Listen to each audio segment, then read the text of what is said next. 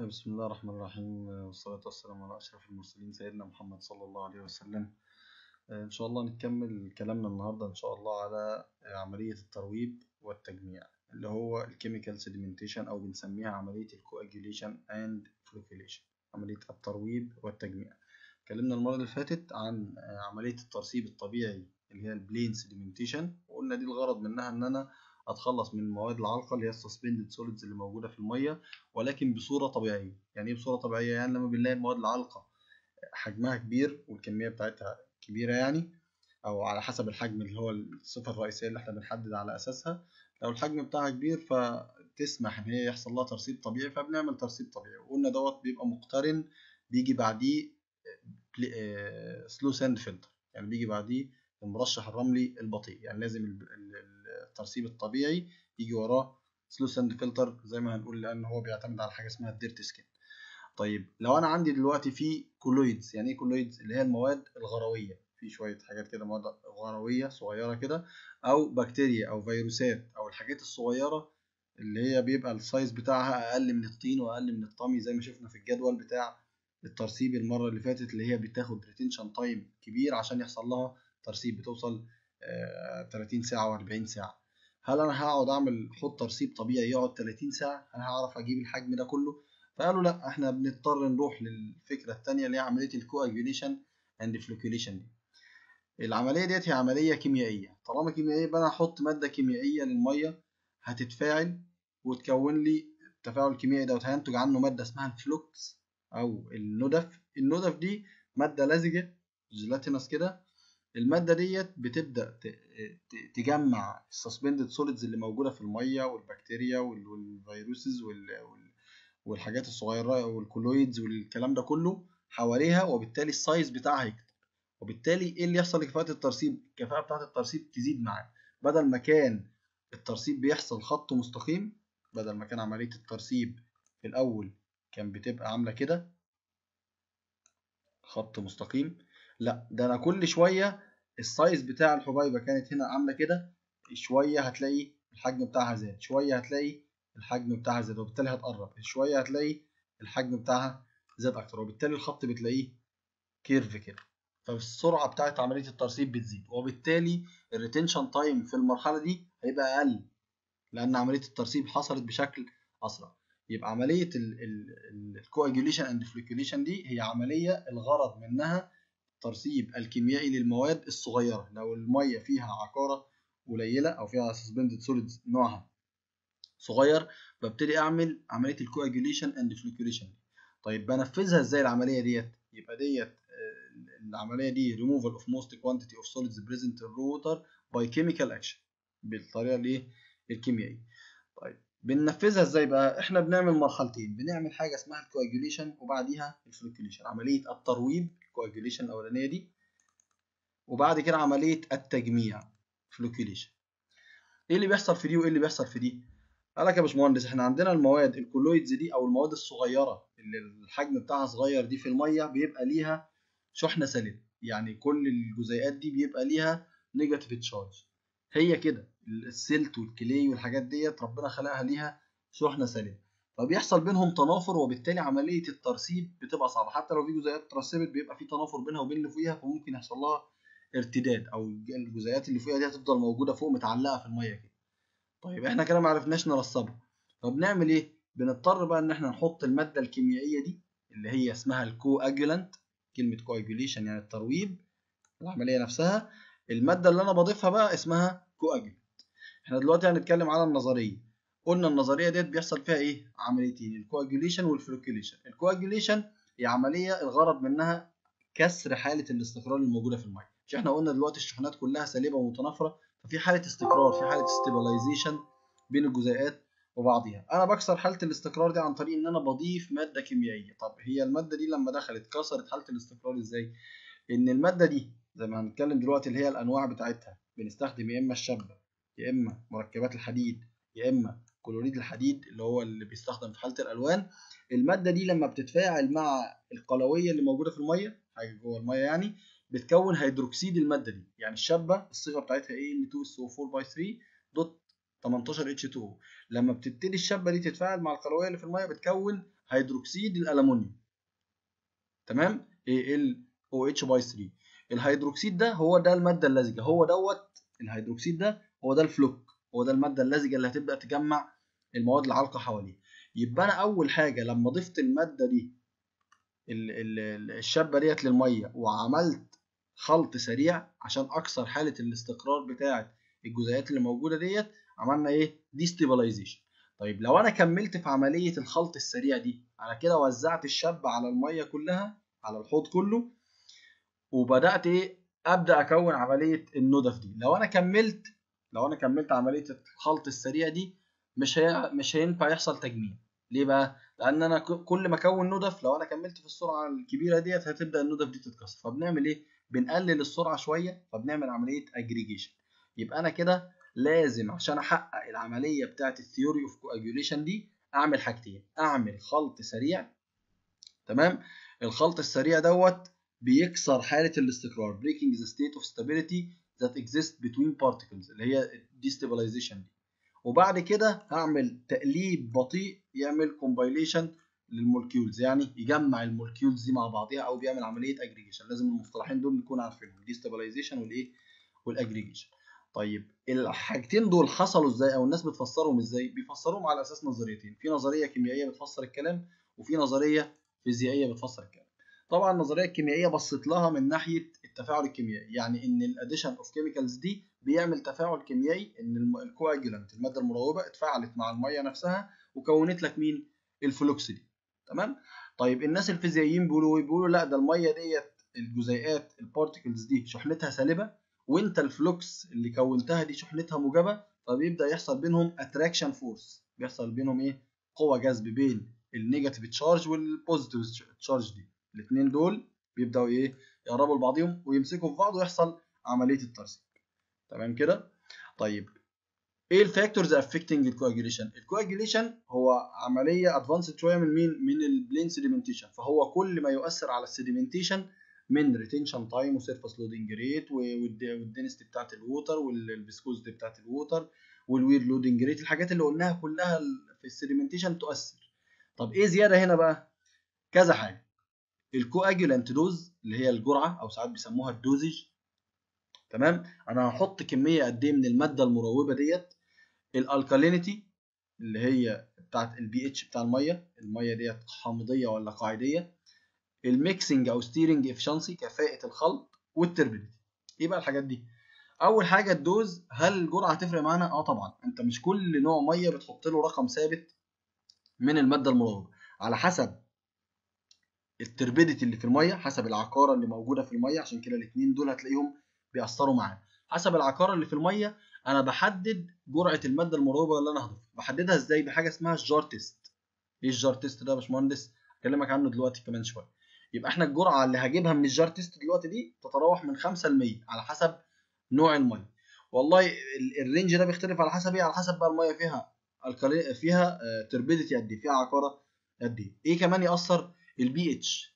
ليه بقى؟ لأن في نوع حسب نوع ال coagulant حسب نوع المادة المروبة اللي هي alum أو Fe compounds بحددها على حسب البي اتش. والله ال alum بتبقى كفاءتها عالية في البي اتش من 4 ل 7 ليه؟ لأن أي تفاعل كيميائي أي حاجة كيميائية هتلاقي البي اتش داخل فيها يعني أي حاجة بتحصل في كيمياء زي مثلا disinfection لما نيجي نتكلم على التطهير التطهير إن أنا بضيف كلور للمية هلاقي ال pH أول factor يأثر عليه. ليه؟ لأن أي حاجة بتحصل chemical كده لازم بتلاقي البي اتش ليه تأثير فيه.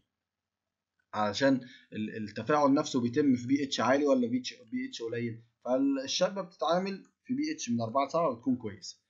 أكتر حاجة بنستخدمها هي الشابة لأن هي متوفرة ممكن تنقلها ممكن تخزنها ما بتأثرش على صحة الإنسان يعني متاحة كتير يعني ورخيصة طبعا.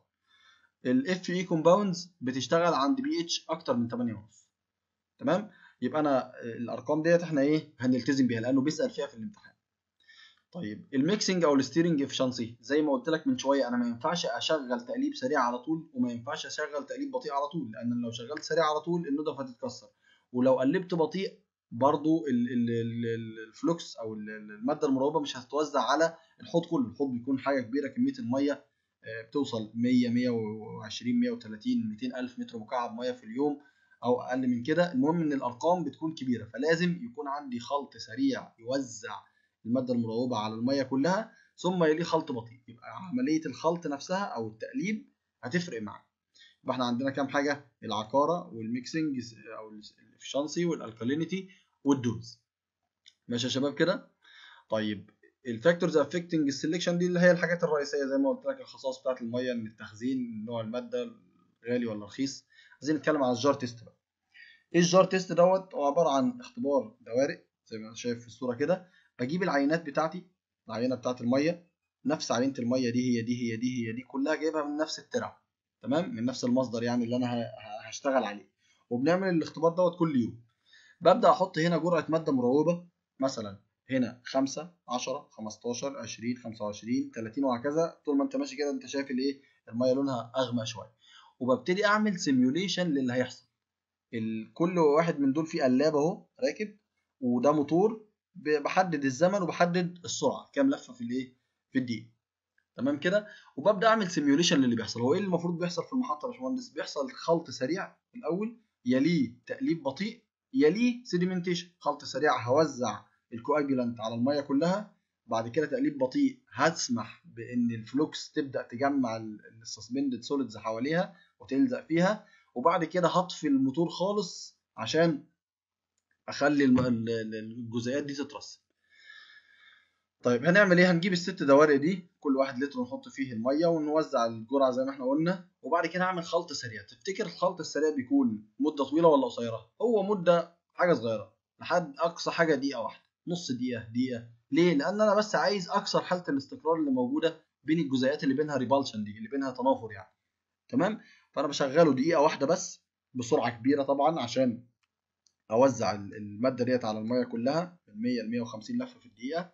ثم بعمل بعد كده خلط أو تقليب بطيء لمدة قد إيه؟ من ربع لتلت ساعة. والسرعة هقللها شوية. ليه؟ لأن لو كملت في السرعة العالية هتكسر الندف عشان تبدأ تتجمع وبعد كده هطفي الموتور خالص لمدة من 30 ل 45 دقيقة لحد ما يحصل عملية الترسيب. بعد الترسيب هنلاقي إن الكيرف بتاع العقار عامل كده. دي العقاره المتبقية. هنا رقم هنا رقم أقل هنا أقل هنا أقل وهلاقي بيزيد. إزاي يا باشمهندس؟ ده أنا زودت الجرعة. هو هل ممكن أنا لما أزود الجرعة العكارة تزيد؟ آه. ما أنت افرض المية فيها عشان كده قلنا إن العكارة هي ال factor رقم أربعة اللي بيأثر معانا. لو المية فيها عكارة قليلة وأنا جيت حطيت 100 بي بي إم 100 بي بي إم هم اللي هيتفاعل منهم بس 20 وال 80 الباقيين دول هيفضلوا قاعدين لك في المية مش لاقيين حد negative يمسكوا فيه ويترسبوا معاه. وبالتالي بقت ال flocs نفسها أصبحت turbidity أو أصبحت suspended solids بالنسبة لك وبالتالي تلاقي العكارة زادت معانا تاني. عشان كده إحنا لازم هنرسم ال curve دوت كده وناخد أقل عكارة فيهم اللي هي عند ال dose مثلا 12 يبقى هي ديت كده إيه؟ أفضل. ماشي يا شباب؟ طيب يبقى أنا كده عشان أعمل ال simulation اللي أنا عملته بقى دوت في ال jar test عشان أحدد الجرعة يبقى ال jar test ده بيستخدم فين؟ في تحديد الجرعة بتاعة ال coagulant وساعات بنستخدمه في معرفة البي اتش يعني نشوف تأثير البي اتش هيعمل إيه في الميه إزاي؟ بحيث إن أنا أخلي ده بي اتش وده بي اتش تاني وده تالت وده رابع وده خامس وده سادس وهكذا. أغير البي اتش بتاع الناس دي كلها وأبدأ أشوف أنهي عملت أكتر ريموفال ريشيو فيهم. تمام؟ عند بي اتش 2 ولا 3 ولا 4 ولا 5 ولا 7 ولا كده عشان أشوف كفاءة المادة المروبة دي مع البي اتش طيب يا شباب اللي إحنا عملناه في المعمل دوت هنعمله بس ب scale كبير بقى في المحطة. اللي هو هدخل المية على أو هضيف المادة المروبة هعمل adding لل coagulant هعمل feeding اضيف المادة المروبة نفسها ثم خلط سريع بنسميه rapid أو flash mixing ثم عملية تقليب بطيء بنسميها flocculation ثم الترسيب إن أنا إيه بخلي المية في حوض ترسيب زي اللي شرحناه المرة اللي فاتت بالظبط. طيب عايزين نتكلم بقى على عملية كل واحدة من دول لوحدها. عملية ال feeding بتتم إضافة المادة المروبه بحاجة من الاثنين يا إما dry feeding يا إما wet feeding إيه دوت وإيه دوت؟ ال dry feeding وال wet feeding ال dry إن أنا بجيب المادة المروبه وهي bulk كده أو اللي هي مادة raw خام زي ما هي و... و... وبتبقى في شكاير بفضيها في في خزان وتعدي على سير بيلف وتنزل في المية بتاعتي وأبدأ إيه؟ أقلب المية خلط سريع. أبدأ عملية الخلط السريع. طيب دوت مش منتشر أو مش مستخدم كتير ليه؟ لأن الشابة ديت أنت مش هتعرف تتحكم في اللي يعدي من على السير ممكن حبة يطلعوا كتير ممكن حبة قليل. الرطوبة كمان بتأثر. ممكن الرطوبة اللي موجودة في الجو تخلي الحبة الشابة ديت يحصل لها إيه؟ تصلب. البديل الثاني هو ال wet feeding. إن أنا أجهز المحلول بتاع الشبة أعمل محلول تركيزه من 5 ل 20% بجيب مثلا شبة بتبقى سايلة. واحطها مع مية في حوض لوحده اسمه ال concentration alum tank هنصممه لوحده اللي هو الحوض بتاع الشبة ده بتاع تحضير الشبة بحيث إن الشبة تكون هنا طالعة لي مع المية محلول. محلول شبة تركيزه 5% 10% 20% وهكذا. تمام؟ وأبدأ أحط هنا pump صغيرة كده تسحب المحلول الشبة دوت وتدخله على على مين؟ على الحوض بتاعي بتاع ال flash mixing tank هي ال FMT دي بحيث إن أنا أعمل عملية الخلط السريع تمام؟ طبعا الكفاءة بتاعة ال wet feeding أفضل من ال dry feeding عشان كده إحنا هنصمم ال alum solution tank دوت شباب. ماشي؟ طيب التصميم بتاعه بقى بيكون إزاي؟ إحنا دلوقتي عايزين نطلع حجم زي ما اتفقنا قبل كده إن إحنا هنصمم الحاجة ديت وظيفتها بس إن هي تحتوي المية مش هشيل فيها حاجة. فأنا عايز أشوف الحجم بتاعها قد إيه وعشان أطلع الابعاد أطلع الحجم إزاي؟ الحجم هيتجاب إحنا عندنا Q وحدتها Q وحدتها متر مكعب per day. لو ضربتها في ال S اللي هي ال dose الجرعة. إيه الجرعة دي؟ اللي هي قلنا من 5 ل 100 اللي بحددها في ال jar test من 5 ل 100 بي بي ام بي بي ام اللي هو إيه؟ اللي هو جرام على المتر المكعب. لما أضرب الاثنين دول في بعض كده هتلاقي المتر المكعب ده راح مع المتر المكعب ده. يتفضل لك جرام في اليوم. لو تفتكروا الحاجة دي حسبناها في تصميم ال sludge hopper لما ضربت ال Q design في ال suspended solids في الريموفر ريشيو فطلع لي الوزن اليومي. لما اضرب الاثنين دول في بعض كده هيطلع لي الوزن اليومي. هل أنا عايز وزن ولا عايز volume لا أنا عايز حجم. إيه اللي حول الوزن اللي فوق ده لحجم؟ إن أنا أقسم على مين؟ على الكثافة. بس الكثافة ديت وحدتها 1 طن على المتر المكعب 1.2 طن على المتر المكعب أو جرام على السنتي هما الاثنين واحد. طيب عشان أحول من طن لجرام اللي أنا كنت سايبها فوق اللي هي اللي هنا ديت وأنا بحسب عندي دي جرام لازم أضرب تحت في كام؟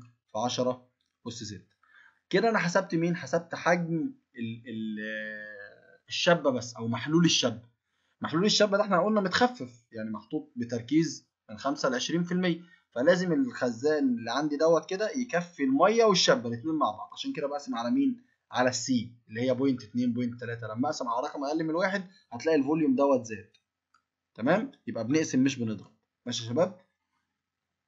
طيب طلعت الحجم بتاع الشابه الحجم ده بيساوي إيه؟ بيساوي مساحة القاعدة في الارتفاع. الارتفاع بيكون من 1 ل 3 متر.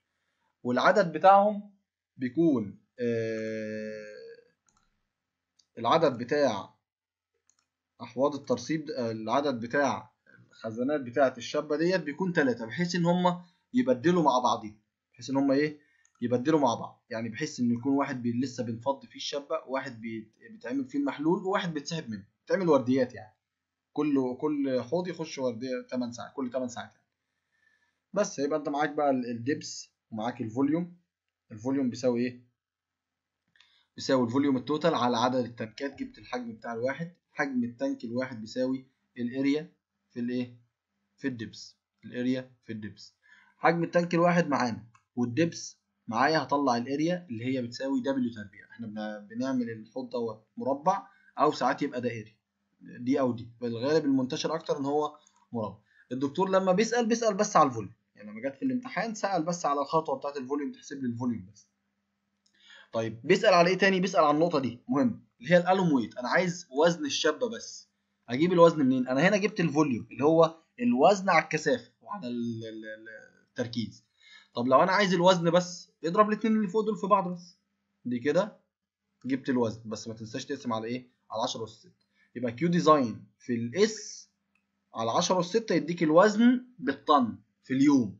طب أنا لو عايز احسب لشهر كامل هضرب في 30 يوم. طب لو عايز احسب الكمية بتاعت الشبة للسنة لو أنا عشان أقول مثلا والله المحطة ديت هتجيب لي السنة 100 طن. أو 50 طن. تمام؟ أحسب ال 50 طن دي إزاي؟ اضرب ال Q بتاعت المحطة في ال S الجرعة بتاعت الشبة اللي أنت حطيتها على 10 اس 6 في 365 يوم. يجيب لك الإيه؟ الكمية بتاعت الشبة طيب دي كده الإيه؟ الحوض بتاع ال alum solution tank نخش على تاني حاجة اللي هي مين؟ اللي هي ال flash mixing tank يبقى إحنا كده صممنا الأولاني. نخش على ال flash mixing tank حوض الخلط السريع. الحوض بتاع الخلط السريع إحنا عندنا لازم نعرف بس بنعمل الخلط السريع ده إزاي. إيه الخلط السريع؟ ان أنا بقلب المية بسرعة كبيرة. عشان كده في حاجة factor جديد هنشوفه هنا حاجة اسمها ال G value إيه ال G value دي؟ قيمة بحسب بيها أو ب check بيها على كفاءة الخلط. الخلط دوت أنا لو بخلط مية غير لو بخلط عسل غير لو بخلط زيت كل مادة هتعتمد على مين؟ على ال viscosity بتاعتها. يبقى ال viscosity دوت factor معانا. وإيه كمان؟ لو بخلط في كوباية صغيرة غير لو بخلط في حوض كبير غير لو بخلط في في في, في جردل مثلا متوسط. يبقى حجم الوحدة اللي أنا هخلط فيها هيفرق معايا. وإيه كمان؟ ال power. أنا بخلط القدرة بتاعه ال impeller أو المروحة اللي هتلف ديت. كل ما ال volume واللزوجه اتغيرت ال power بتاعتي هتتغير. فال G value هو علاقة بين ال power على ال viscosity ومين؟ ال volume. الحجم بتاع الوحدة اللي أنت هتخلط فيها. طبعا بما إن أنا بخلط خلط سريع فالمفروض إن ال G value دي تكون كبيرة ولا صغيرة؟ المفروض تكون كبيرة. 700 ل 1000 second minus 1 اللي هو كل ثانية. كل ثانية بيكون في من 700 ل 1000 إيه؟ ال range دوت هخلط إزاي يا شباب؟ قدامنا كذا حاجة. يا إما hydraulic mixing يا إما mechanical أو inline mixing يا إما mechanical mixing ثلاث أنواع من أنواع الخلط. الهيدروليك مشكلته الوحيدة في إن هو بيبقى فيه head loss كتير حاجة هيدروليكية كده فبيحصل فيها head loss. بعمله إزاي؟ يا إما عن طريق إن أنا أعمل هدار أو hump كده عتبة صغيرة كده يحصل بعد إن المية ماشية عدل يحصل هنا hydraulic jump وتبدأ المية إيه؟ تتخلط مع بعضها أو يحصل هنا اضطراب في الجزئية ديت كده. أبدأ أحط أنا المادة المروبة بعد الايه بعد الهدار دوت عشان تتخلط في الجزء بتاع ال hydraulic jump بس يعيبه قلنا ال head loss. أو ممكن إن أنا أعمل الخلط ده عن طريق ال baffles. إن أنا أدخل المية من هنا كده ويبقى في هنا حيطه وهنا حيطه عكسها بحيث إن المية يحصل لها تبادل كده. أبدأ أنا أضيف المادة المروبة هنا وهي تتخلط وهي ماشية في الطريق كده في الإيه؟ ده plan view. أو لو elevation لو ال baffles دي رأسية وأفقية نازلة من السقف من فوق كده وطالعة من الأرض من تحت. المية هتمشي كده كده كده كده كده كده كده كده كده. هتقعد إيه؟ تتحرك في الاتجاه اللي إحنا عملناه ده. طب إيه ال inline mixing إن أنا بعمل اختناق ممكن في الماسورة نفسها كده لو جيت قللت القطاع بالشكل ده كده القطاع كان هنا واسع وبعد كده ضيقته القطاع لما ال area تقل السرعة هتزيد وبالتالي هيحصل الخلط هنا بشكل أسرع يعني هيحصل خلط هنا إيه؟ سريع. آخر حاجة ال mechanical mixing وده على حسب الشكل. ممكن أحط impellers مروحة يعني أو blades اللي هو دراعات كده طالعة. بتبتدي الدراعات ديت هي تلف تعمل لك عملية الإيه؟ الخلط. طيب التصميم بقى اللي إحنا هنشتغل عليه هنشتغل على ال mechanical mixing أو اللي هو ال flash mixing tank اللي بيبقى فيه مروحة ال impeller دوت الغرض منه إحنا قلنا الراجل دوت بيبقى شكله عامل إزاي؟ بيبقى حوض دائري في الغالب ممكن يبقى مربع أو مستطيل ممكن يا باشمهندس بس اللي إحنا هنشتغل على تصميمه الدائري. بيبقى عبارة عن إيه؟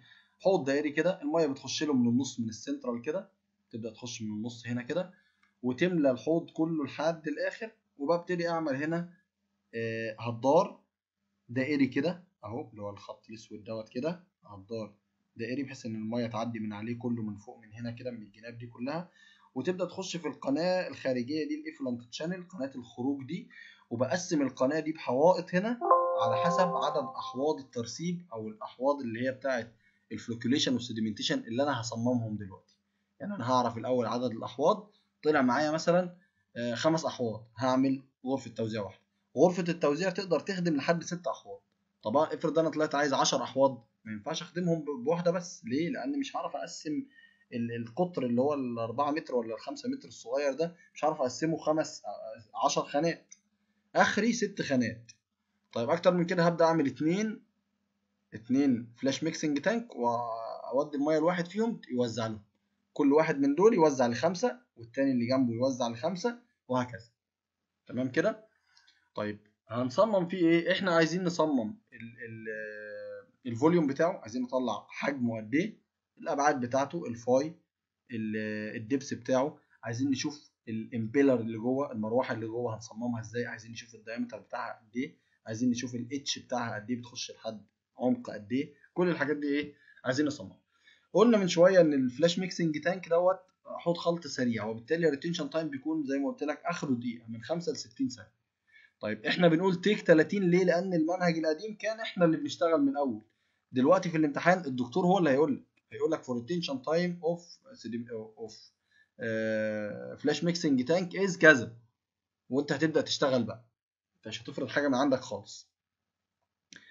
معانا ال retention time وال Q design قلنا اللي هي ال maximum monthly مضروبة في الواحد واحد من عشرة اللي هم الفواقد بنزود عليه الفواقد أقدر من الفوليوم أطلع الكيو ديزاين في الريتنشن تايم أطلع الفوليوم الدبس بتاعه زي ال depth بتاع ال alum solution tank من 1 ل 3 متر. برضه الدكتور هيديهولك مش هيسيبك تفرض حاجة. أطلع ال area اللي هي الحجم على ال depth هيطلع لي ال area حجم على ال depth يطلع لي الايه ال area. ال area دي شكله عامل إزاي؟ زي ما قلت شكله circular ده area بتساوي n في pi على 4 في phi تربيع في الغالب n أكبر أو يساوي الواحد. طيب إحنا هنشتغل على إيه؟ في الامتحان. ركز معايا. عشان لما جابها جابها مرة وما حددلكش n بكام. أنت لو ما حددلكش هنعتبر إن هي إيه؟ واحد بس. يعني أنا هشتغل على حوض توزيع واحد بس أو حوض اللي هو بتاع ال flash mixing tank واحد بس. اشمعنى أنا بقول حوض توزيع؟ لأن إحنا ساعات بنستغل دوت كده ونعتبر ان هو حوض التوزيع. لأن أنا اهو زي ما قلت لك بقسمه بحوائط هنا كده بحيث يوزع لي الميه يبقى أنا حطيت فيه مروحة وقلبت تقليب سريع وفي نفس الوقت استغليت ان هو يوزع لي الايه؟ الميه على الاحواض كلها. تمام؟ طيب لما باجي اصمم ال impeller المفروض ان ال H بتاعها العمق بتاع ال impeller هنا بالنسبة لل depth كله بيكون حوالي التلتين من تلت لتلتين. وبرده ال diameter بيكون من تلت لتلتين الايه القطر الكلي بتاع الحوض. يبقى دي تلتين ال depth وده من تلت لايه لنص ال phi ال G value بحسبها إزاي بقى؟ بيكون أنا عارف ال range دوت والدكتور هيديهولك. انت أنت عارف ال range. فبقى كمان الدكتور في الامتحان ال MCQ هيديهولك. معايا ال G value ومعايا الحجم أنا طلعته من ال من ال volume من ال retention time وال Q ومعايا ال mu رقم ثابت. كام؟ واحد واربعتاشر في عشرة أس سالب تلاتة. تمام؟ هقدر أطلع مين؟ هقدر أطلع ال power ال power دي بتساوي إيه؟ على حسب نوع ال ال الحاجة المستخدمة. لو هل أنت شغال ب impeller مروحة ولا شغال ب blades ولا شغال بإيه؟ اللي إحنا شغالين بيه في ال flash mixing tank هو impeller ال impeller المعادلة بتاعتها K في ال S في ال n تكعيب في ال D أس 5 مين ال K ثابت. هناخده بكام؟ هناخده بواحد. تمام؟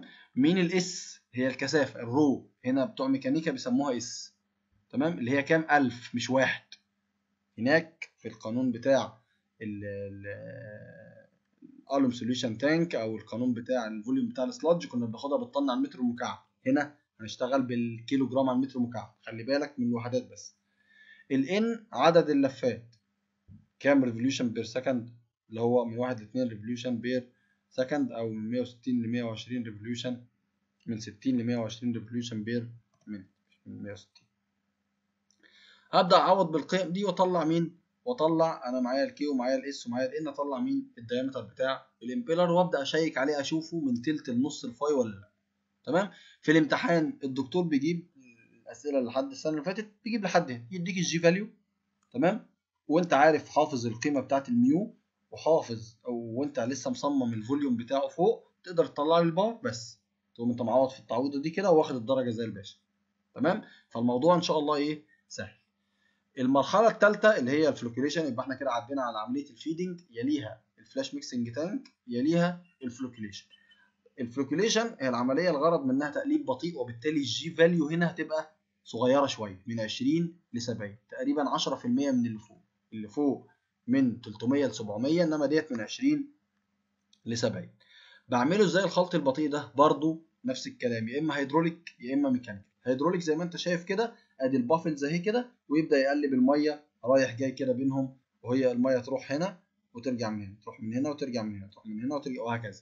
تمام؟ في ال plan أو في ال elevation يعني in plan أو in section يا إما رأسي يا إما أفقي أو mechanical باستخدام ال flocculators دول اللي هم البدلات البدلات دي يا إما تكون رأسية عشان تقلب المية كده تعمل فيها دوامات بحيث إن ال flocs تتحرك في وسط المية كلها كده وتبدأ تجمع لي ال suspended solids اللي موجودة في المية أو ال colloids اللي موجودة في المية.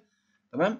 الكلام ده بيتم فين؟ ما ينفعش أعمل ال flash mixing أو ال flocculation tank دوت لوحده وال sedimentation tank لوحده. ليه؟ لأن أنا يا باشمهندس لو جيت عملت ده لوحده وده لوحده آدي الحوض بتاع ال flocculation وبعديه الحوض بتاع ال sedimentation. أهو الاثنين مقفولين. ده فيه البدلات بتاعتك سواء كانت أفقية أو رأسية ايا كان. ودخلت المية مش أنا هعوز إن أنا أطلع المية من هنا لهنا في ماسورة. أنا دخلت المية دي عملية ال flocculation إيه اللي حصل فيها؟ أنا جهزت ال flocs خليتها تمسك في ال colloids والمواد العالقة دي ويكبر الحجم بتاعها. طب لما أجي أمشيها بقى في الماسورة إيه اللي ضمني إن ال flocs ديت مش بالتصميم بتاع الماسورة اللي هو السرعة من point 6 لواحد ونص مش هتتكسر لا هتتكسر. ولو قللت السرعة هيحصل لها ترسيب فين؟ في المواسير دي.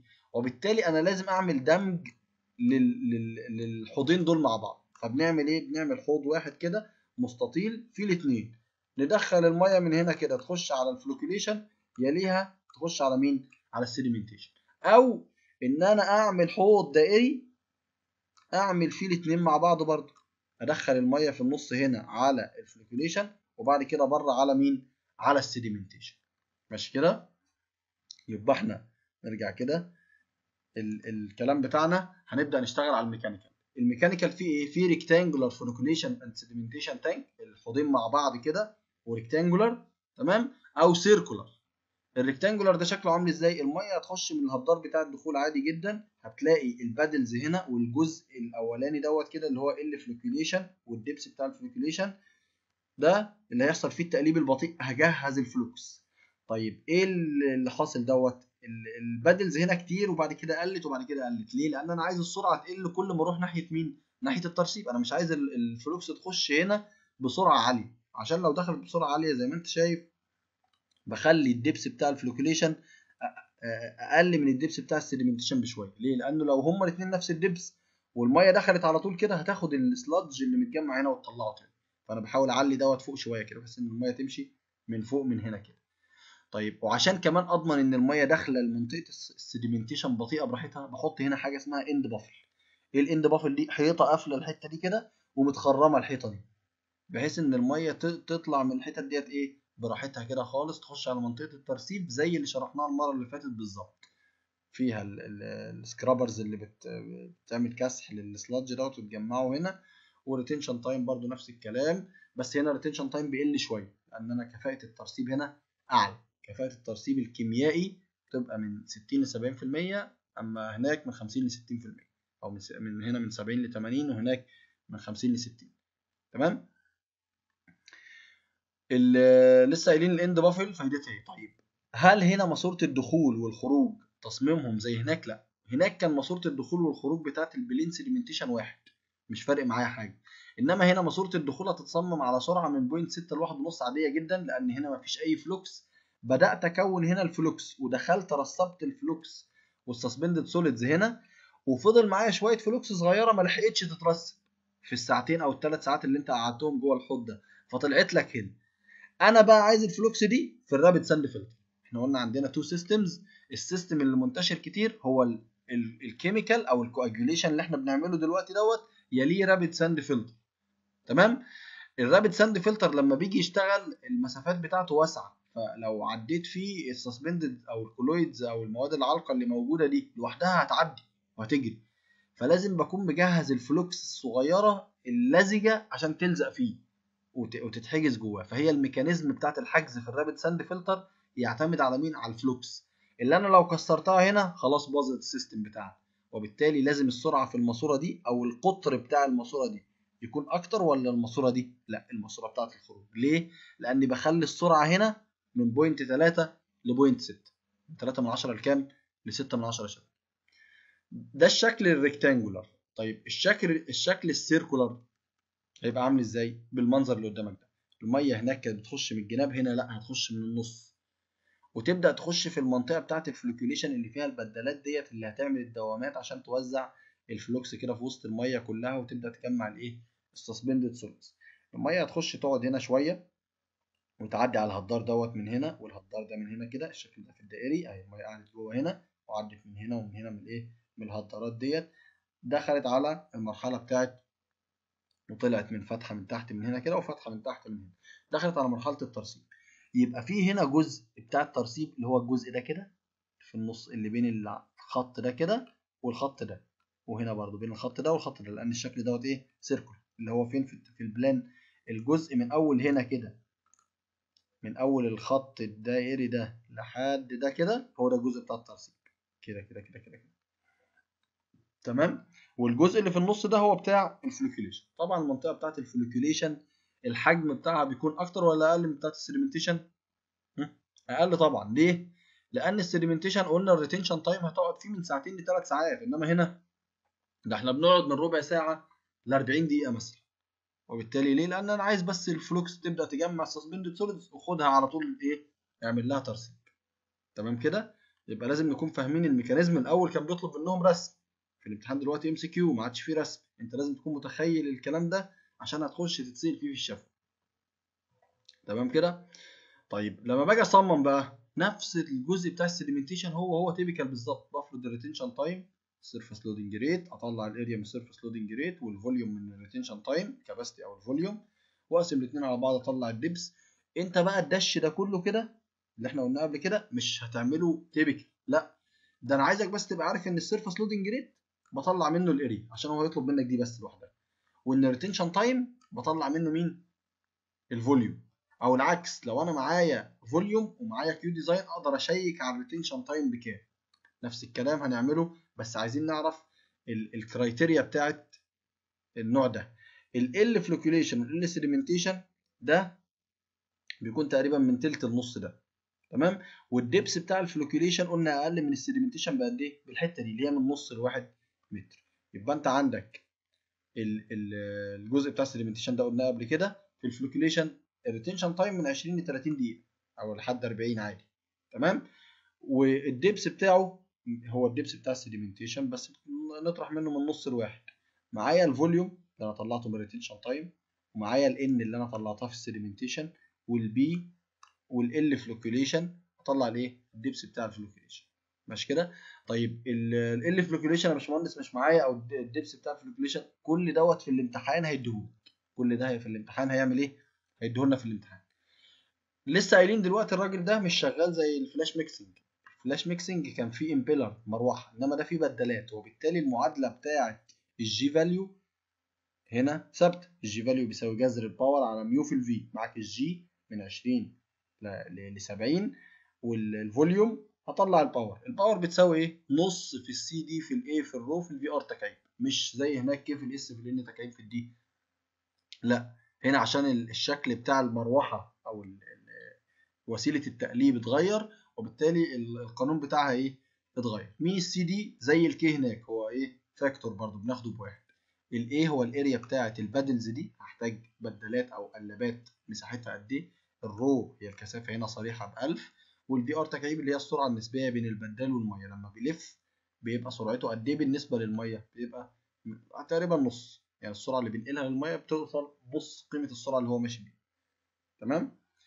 هتعوض هنا برضو الجزء دوت ما بيجيش كتير. هو بيطلب لحد مين؟ لحد ال G value بس. تمام؟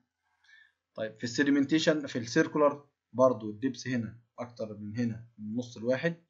ال phi بتاع الكلي اللي هو بتاع ال sedimentation ال phi out علاقته إيه بال phi in أو ال phi sedimentation علاقته إيه بال phi flocculation flocculation بيبقى من تلت لنص الايه ال sedimentation بيبقى من تلت لنص ده الشكل أهو. عشان بس تتخيلوا يبقى دي الكوبري ده اللي بيلف ماسك مرتبط مع الكساحات بتاعة ال sludge بيلف كده والأرضية مايلة زي اللي فات بالظبط خالص. وهنا بس زيادة دوت فيه skimming الجزء بتاع ال ال ال لو في مواد طافية بتطلع على الوش هنا. بيبدأ إيه؟ يعمل لها كسح. تمام؟ تتجمع كلها في ال launder أو في القناة بتاعة الخروج دي كده ويبدأ إيه؟ يسحب. ده شكله في الحقيقة. تمام؟ شفناه في في اللي فات. ده الجزء الدائري اللي في النص ده كده بتاع ال flocculation ونازل من هنا أهو لو شايفين الحتت دي كده اللي فيها البدلات. تمام؟ لما باجي أصمم بقى الدائري برضه نفس النظام. ال retention time من 20 ل 30 طلعت ال volume ال d n بيبقى من لحد 3 متر من من 2 ل 5 متر ناخده 3 ناخده 5 هو اللي هيحدد لك الأرقام دي في الامتحان. تمام؟ الاريا بيساوي الفوليوم على الدي ان الاريا دي بيساوي إيه؟ n pi على 4 في phi in تربيع. كنت بفرض هنا بفرض لأن أطلع ال phi أقل من 14 لا. أنا هقول لك ال phi in بكام وال phi out بكام وأسألك عن ال n أو أقول لك ال volume بكام وأقول لك check لي على ال retention time. المهم أنت هتكون عارف لي من المنظومة دي مين بيطلع مين. إيه بيطلع إيه تمام؟ و typical بالظبط زي اللي فات. كله في ال sedimentation في اختلاف وحيد بس في الجزء بتاع ال sludge hopper لما كنت بجمع هناك كنت بضرب دي في دي عادي خالص. ال suspended solids هناك هنا كانت هناك كانت القيمة اللي هو هيديها لك. هيديك ال suspended solids 80 50 70 100 ايا كانت الرقم اللي هو هيديهولك. تمام؟ هنا بقى لا ده أنا الرقم اللي أنا هديهولك ال 80 أو ال 70 ده أنت هتزود لي عليه شوية. ليه؟ لأن أنت حاطط chemicals بقى أصبح عندك فيه مسبب للعقارة تاني في حاجة في مادة عالقة كمان موجودة في المية. يبقى أنت كده ال turbidity دي 80 وهنزود عليها شوية. إيه الشوية دول بقى؟ رقم أو قيمة اسمها x في ال dose. يعني أنت حاطط مادة مروبة قد إيه؟ حاطط 20 ppm. ال 20 بي بي إم دول لو كانوا هم شبة كل 20 يطلعوا لك point 4 3 في ال 20 ليه؟ لأن الشبه لما بتتفاعل مع المية بينتج عنها هيدروكسيد قد إيه؟ point 4 3 من الكمية اللي أنت حطيتها. فأنت لو حاطط مثلا مثلا 100 فأنت هتحط لي هنا هتزود لي كام؟ هيطلع لك 43 شبه اللي هو 100 مضروبة في كام؟ في point 4 3 تمام؟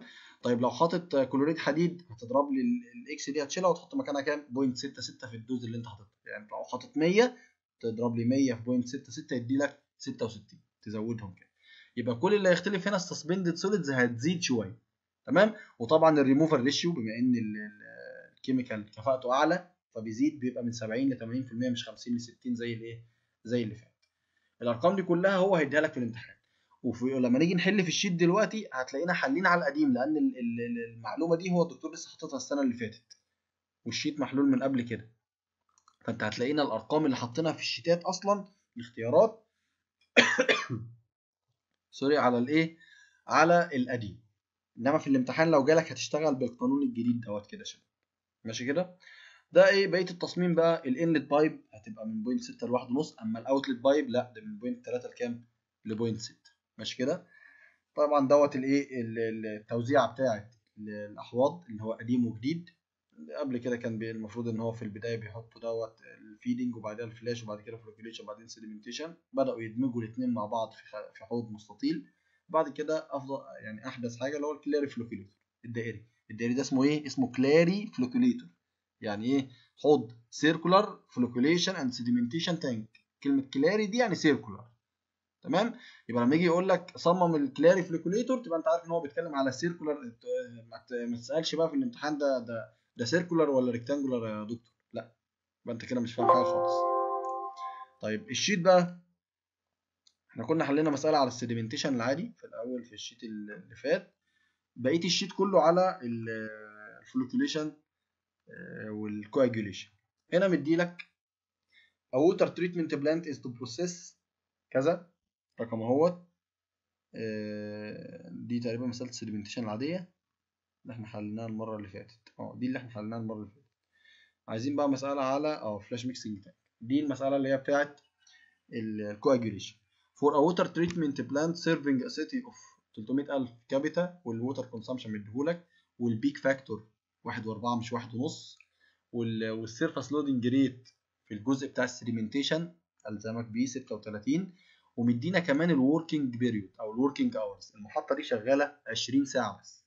لو ال retention time واحد دقيقة for rapid mixing وال depth بتلاتة. أهو أنا هدي لك كل حاجة. بقول لك والله يا باشمهندس ال retention time في حوض التر... الخلط السريع ده دقيقة. وال depth بتاعه 3 متر. تعرف تقول لي ال diameter بتاعه كام؟ ما أنت عارف إن ال retention time ده هيطلع لي مين؟ ها؟ ال volume.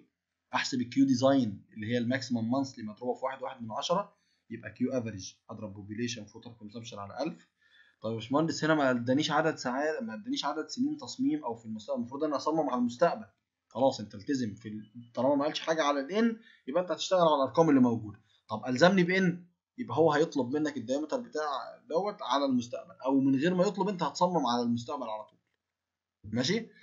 هنحسب ال average السكان في الاستهلاك على 1000 عشان أحوله دي ال Q design واحد واحد في واحد وأربعة في ال average طلعناها. وهقوم محولها بقى. أقسم على 20 مش 24 عشان عدد ساعات التشغيل هنا 20 طلعته بال hour. وأقسم الرقم اللي طلع دوت على 60 في 60 على 60 الأول هيطلع لي هيطلع لي بوحدة المتر مكعب per minute. وأقسم على 60 تاني يطلع لي متر مكعب per second. ليه؟ لأن لما أجي أشيك عشان لو عوزت اللي بال hour اللي بال minute اللي كده. ال flash mixing tank لو أجي أشتغل مثلا ال flash mixing tank أنا مديك ال retention time بتاعك 1 minute فهي تضرب لي الواحد في ال 77 ده على طول. أو حولتها أنا 60 ثانية فضربت الواحد 28 في 60 في كام؟ هيطلع لك 76 و8 من 10 ده الحجم. طيب الحجم ده بيساوي إيه؟ بيساوي مساحة القاعدة في الارتفاع. أنا مديك الدبس بكذا. يبقى الحجم وال depth لما يتقسموا على بعض هيديني area طلعت ال area 25 و6 ال area بتساوي إيه؟ N π على 4 في φ تربيع طيب لسه قايلين من شوية لو ما قاليش حاجة عن ال flash mixing tank ال N بتاعته هنعتبرها واحد هنعتبر إن إحنا شغالين على واحد بس. فهو الدكتور برضو هنا ما ألزمناش بحاجة يبقى أنت هتشتغل على واحد. واحد خد آه، flash mixing واحد بس أطلع ال φ طبعا خمسة وسبعة ما تقوليش بقى 500 و600 و700 ده خمسة وسبعة متر ده ده حاجة خرسانة. خمسة وسبعة يتقرب لخمسة سبعين تمام؟ يبقى إحنا بنقرب لأقرب رقم 10 يعني الصفر ما يديش السبعة يبقى يبقى إيه؟ 75 ما تجيش تقرب لي تقول لي ده 6 متر. لا ده ده مش ماسورة. مش مش أقطار standard ده حاجة خرسانة إحنا بن بنحطها يعني بن- بنصبها على حسب ما إحنا عايزين. طيب جه بعد كده قال لك ال G value بكذا. تعرف تقول لي ال theoretical power بكام؟ ما أنا عارف إن ال G value بتساوي جذر ال power على μ في ال V. ال G value هو مديها لي ب 700 second minus 1 وال μ أنا حافظها. وال volume π على 4 في φ تربيع في ال depth. ما أنا معايا ال φ ومعايا ال depth. يبقى أنا كده معايا كل الحاجات أقدر أطلع مين؟ ال power بمين؟ بالوات. power في القانون ده بتطلع بالوات مش بال horse power. طيب قال لك لو ال L sedimentation ب 40 وال B ب 10 إيه ده؟ هو في B sedimentation و B عادية؟ لأ. إحنا اتفقنا بقى إن إن هو نفس ال B خد المستطيل ده. بتبقى المية داخلاله من نفس العرض. أهو. العرض ال B بتاع ال flocculation هو نفسه ال B بتاع ال sedimentation. فهو إيه؟ هو نفس ال B. لو مديك ال L وال B ال number of rectangular flocculation sedimentation tank بكام؟ ما أنا مديك ال L ومدي لك ال B وكنت مدي لك فوق في راس المسألة ال surface loading rate أقدر أطلع من ال surface loading rate إيه يا شباب؟ ال area ال surface loading rate بيساوي Q design على ال area يعني ال area Q design على ال surface loading rate بس خلي بالنا من حاجة. لما أجي آخد ال Q design هاخد أنهي Q هاخد ده إيه؟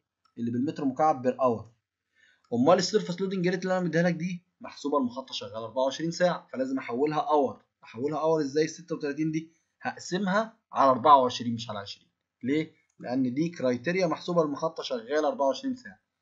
يبقى أنا هشتغل على ال Q بتاعتي 4620 اللي هي مقسومة على 20 يعني وهاخد أقسمها على ال surface loading rate اللي هي 36 بس مقسومة على 24 أنا هجهز نفسي كده. ال 36 لما تتقسم على 24 تديني واحد ونص متر مكعب لكل متر مربع في الساعة. لما أجي أقسم ال Q على ال surface loading rate هاخد أنهي Q اللي بالساعة. وأنهي surface loading rate اللي بالساعة. عشان الوحدتين يبقوا زي بعض كده وأقسم الاثنين على بعض يديني الايه ال area لازم تاخد بالك من الخطوة دي كده لأن الدكتور بيركز عليها في الامتحان. طلعت ال area بيساوي N في الطول في العرض. أنا معايا الطول ومعايا العرض. اعرف أجيب ال N ولا؟ جبت ال N 7 و7 من 10 يطلع لي كام 8 tanks. طيب جزء تاني في المسألة أو مسألة تانية قال لك ال estimated population بكام وال water consumption بكام وال working hours 16 ساعة وال total weight بتاع ال alum 1.5 طن في اليوم. وال settling velocity أو ال surface loading rate 1.5 متر في الإيه؟ في الساعة. عايز ال diameter بتاع الأربعة clarifiers clarifiers يعني يعني sedimentation tank أو settling tank كل دول أسامي أحواض الترسيب. عايز قطر الأربع أحواض بتوع الترسيب. يبقى أنا كده اديتك ال N جاهز تمام؟ ومعايا ال Q أعرف أحسبها. أحسب ال population في water consumption على 1000 جبت ال Q وأدي ال Q design تمام كده؟ واحد واحد في واحد ونص في ال average وحولتها. قسمت على عدد الساعات بتاعت التشغيل. حولتها per hour و per minute و per second وال settling velocity هو مديها لي per hour جاهزة. يبقى أقسم اللي per hour ده على اللي per hour دوت يديني ال area. ال area total طيب هو قايل لي clarifiers clarifiers دي يعني ده اري clari يعني circular يعني. يبقى أنا كده مش مش محتار بين rectangular و circular لا ده أنا عرفت إن هو circular طيب الجزء بتاع ال sedimentation بقى ال area بيساوي n في pi على 4 في phi sedimentation تربيع ناقص phi flocculation تربيع. لسه قايلين من شوية. لما بصينا كده على الراجل ده. الجزء بتاع ال- ال- ال clari اللي هيحصل فيه الترسيب فين؟ هو الجزء ده كده اللي بين الاثنين دول اللي هو مساحة القاعدة في الارتفاع أو لما أجي أحسب ال area دي pi على 4 في phi الكبيرة دي تربيع ناقص phi الصغيرة دي تربيع. يديني الايه الحتة اللي في النص دي لما تلف مع الحتة دي اللي هي دائري كده. ماشي؟ يبقى بضرب في phi دي تربيع phi sedimentation تربيع ناقص phi flocculation تربيع. assume ال phi flocculation 4 من 10 من ال phi sedimentation إيه ده يا باشمهندس؟ ما أنت بتفرض أهو. ده إحنا بنفرض هنا عشان ال sheet. ال sheet مش كامل. تعال بص على الامتحان. امتحان final السنة اللي فاتت واللي قبليها. حطه لك اهوت. آه، هتلاقيه هو مديلك ال- ال- الارقام دي. اهو قال لك إيه؟ If the maximum settling velocity بكذا. وال required number of clariflocculator اللي ال phi sedimentation بتاعها وال phi flocculation بتاعها. فأنا معايا ال settling velocity دي هتطلع لي ال area صح؟ أقسم ال Q design على ال settling velocity اطلع ال area ال area بيساوي n في pi على 4 في phi sedimentation تربيع ناقص phi flocculation تربيع معايا ده ومعايا ده اطلع ال n بسهولة جدا تعويضة واحدة. ماشي؟ وادي ال G value اهي. إحنا لسه مطلعين زي ما قلنا في المسألة. بس انت بتطلعها بالوات كل اللي عمله ان هو حط لك دي وحدتها إيه؟ كيلو وات يعني الناتج اللي انت هتطلعه تقوم قسمه على 1000 يديك ال 21 وهكذا. هتلاقي الموضوع systematic خالص زي اللي في ال sheet. تمام؟ طيب ال flocculation zone اللي ال depth بتاعها 3 متر. ال retention time بتاعها هيبقى كام؟ ها. ما أنا معايا ال depth بتاع ال flocculation zone تمام؟ وأنا لسه مطلع ال n من هنا ومعايا ال phi بتاع ال flocculation يبقى أنا كده معايا ال volume بتاع ال flocculation ولا لأ؟ اشمعنى يا باشمهندس بتدور على ال volume لأن أنا عارف إن ال retention time بيساوي ال volume على Q Q design معايا. هتكون أنت حسبتها من البيانات بتاعه المسألة الرئيسية. أنت حاسب Q design أهو في الخطوة اللي فاتت دي. أهي مثلا الرقم ده. تمام؟ وال volume بتاع ال flocculation اللي هو بيساوي مساحة القاعدة بتاعه ال flocculation الدايرة الصغيرة اللي هي pi على 4 في phi flocculation تربيع في ال depth بتاع ال flocculation. أنا مديك ال depth بتاع ال flocculation 3 متر يبقى أنا كده بسهولة جدا جبت ال volume بتاع ال flocculation. وأنا معايا Q design أقدر أ check على ال retention time وأطلعه بايه هتحسب الوحدة اللي أنت هتاخدها. أنت خدت ال Q design هنا دي وحدتها إيه؟ وحدتها متر مكعب per day الأرقام الكبيرة دي أهي متر مكعب per day هاخد المتر مكعب per day ده وأقسمه على عدد الساعات بتاعة التشغيل سواء كانت 24 أو أكتر أو أو أقل قصدي sorry 24 20 16 وهكذا. هاخد ال Q دي وأقسمها. Q أصبحت بال hour مثلا و... و... وأقسم ال volume على Q هيطلع لي أنت قسمت على Q per hour هيطلع لك كذا ساعة. قسمت على minute هيطلع لك كذا دقيقة. هو عايز minute تظبط أمورك إن أنت تطلعها لي إيه بال minute طيب دخلك شوية على ال sedimentation. قال لك ال sedimentation zone اللي ال depth بتاعها 375 ال retention time بتاعها بكام؟ هتقول لي هو ال volume على Q design. بس أنهي volume؟ ال volume بتاع ال sedimentation اللي هو pi على 4 الأول n في pi على 4 في phi sedimentation تربيع. ناقص phi flocculation تربيع. في ال depth بتاع ال sedimentation. وهكذا. هتلاقي الموضوع زي اللي في ال sheet بالظبط. زي تكملة المسألة اللي في ال sheet. هنا بس كل الفكرة إن إحنا في ال sheet. يعني الموضوع ما كانش محطوط بإحكام قوي يعني. فأنت هنا بتفرض حاجة إنما في الامتحان لا ده أنت هتلاقي الموضوع متظبط قوي إن أنت ما تفرضش ما عادش فيه فروضات خالص. طيب for the above data ال alum dosage بكام؟ ال dose طالما عايز ال dose أو الوزن يعني حاجة كام جرام في اليوم هتضرب لي ال Q في ال S على 10 اس 6 ده كده هيطلع لك كام؟ ال ال ال الوزن اليومي هو مديهولك وال Q معانا وال10 وال 6 طلع مين طلع ال S تمام كده؟ آه لو ال depth بتاع ال flocculation بكذا أو ال retention time بتاع ال flocculation أهو لسه قايلين من شوية. ال phi flocculation علاقته إيه بال phi sedimentation 4 من 10 منه ال range اللي هو اللي إحنا مديهولنا. أو أنا هديهولك في المسألة. وال depth معايا أقدر أطلع ال volume n pi على 4 في ال phi flocculation تربيع في ال depth بتاع ال flocculation. طلعت الحاجة. ال retention time بيساوي ال volume على ال Q هتقسم لي ال volume الرقم دوت كده ال volume الكلي. على ال Q design الكلية بس أنا حطيتها أنهي أنهي رقم؟ اللي بال minute عشان يطلع لي الناتج ده minute على طول وأريح دماغي.